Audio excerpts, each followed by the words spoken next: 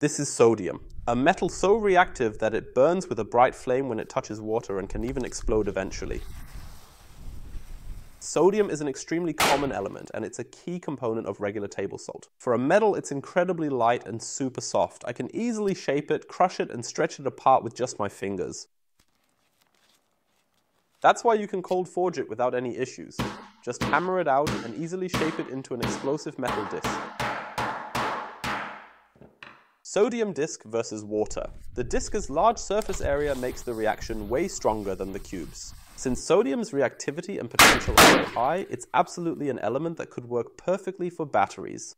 The energy density is high and sodium is abundantly available. The reaction with water was already intense, but with hydrochloric acid it gets even stronger. Hydrogen is produced, which ignites and burns with a yellow flame due to the sodium. What's left is a white powder we all know, table salt. As I mentioned earlier, sodium is actually a key and essential component of salt. That also makes it relatively cheap. At the same time, this was probably the most expensive way to produce salt. There are methods such as extracting it from the ocean that are far, far more affordable.